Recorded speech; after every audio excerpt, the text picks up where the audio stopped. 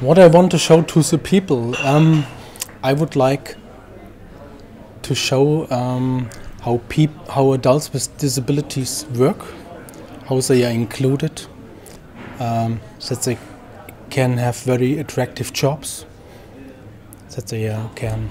It is important that they can be creative, that they can develop things like uh, pralines or cake. Um, yeah, this is really important for their self-confidence to, to create something. And also being part of a team, like, you know, restoring the boat. We're a team of 20 people. One is an electrician, another works with wood.